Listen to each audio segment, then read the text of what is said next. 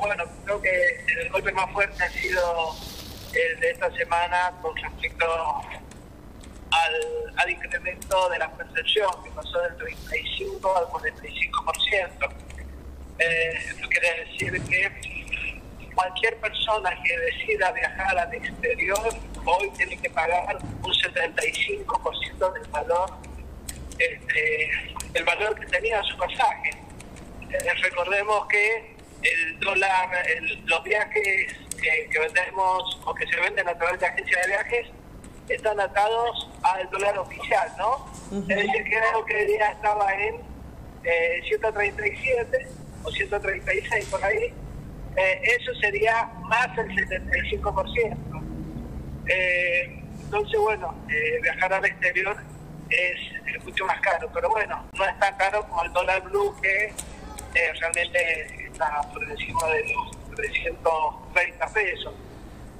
Eh, esto, bueno, hace suponer que independientemente de esta situación, eh, viajar al exterior sigue eh, conviviendo más que, este, que, ¿cómo se llama? Si, igual que al exterior era esto que estamos hablando, que hay una diferencia entre el dólar este, turista y el dólar blue que hace que este, siga conviviendo viaja- viajando ¿no?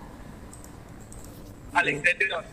Eh, y con respecto a las vacaciones de invierno, y las vacaciones de invierno, la verdad es que eh, acá en la provincia, eh, digo, en contrapartida ¿no? de esto que está pasando a nivel de aquellas personas que viajan afuera del país, eh, seguimos receptivos, eh, te marca una tendencia este, que, viene eh, favoreciendo a la provincia, porque el, lo venimos viviendo desde, este, desde que, desde que eh, pasó la pandemia, ¿no? San Juan como empezó a hacer tendencia, tuvimos unas buenas vacaciones de verano, después tuvimos Semana Santa, después tuvimos eh, eh, de semana de carnaval, después la última semana largo del Día de la Bandera, todos con eh, niveles de ocupación bastante importantes. Digo, teniendo en cuenta esto, ni hablar este, del tema de eventos y todo el resto de, de situaciones que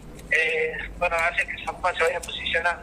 Y vacaciones de invierno este, siguen esa tendencia, ¿no? De una, un buen nivel de ocupación. Este, estamos hablando, hablaba esta mañana con el secretario de Turismo eh, y estamos superando el 85%. Digo, el 85% de, de reserva la verdad es que viene bastante bien.